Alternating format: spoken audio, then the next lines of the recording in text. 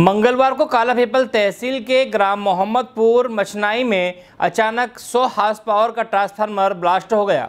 जिसमें से एक बड़ा सा आग का गुब्बार निकला, जिसे देख हर कोई हैरान हो गए, क्योंकि यहाँ पहली बार इस तरह का नज़ारा देखा गया। ग्रामीणों ने इस तरह का आग का गुब्बार टीवी पर युद्ध के बमबारी के दौरान देखा था। आज अपनी आँखों से यहाँ आग का गुब्बार देख हैरान हो गए। दरअसल मोहम्मदपुर मचनाई गाँव में पूर्व में 200 हार्स पावर का एक ट्रांसफार्मर लगा हुआ था, जो की खराब होने से विद्युत विभाग के कर्मचारियों द्वारा दो ट्रांसफार्मर 100 हार्स पावर के लगा दिए, जिससे पर्याप्त बिजली नहीं मिल पा रही थी। वहीं ओवरलोड होने की वजह से मंगलवार को अचानक एक ट्रांसफार्मर में ब्लास्टिंग हो गई, जिससे आग का गुब्बार निकला। प्रत्यक्षदर्शी मोहम्मदपुर मचनाई गाँव के सरपंच रामेश्वर कलमोदिया ने बताया कि यह ब्लास्टिंग से 10 मिनट पूर्व ही ट्रांसफार्मर के समीप ही हम कार्य कर रहे थे, एवं ब्लास्टिंग के दौरान कुछ ही दूरी पर थे। अचानक ब्लास्टिंग देख हैरान हो गए, जिसका वीडियो भी हमने मोबाइल में कैद किया।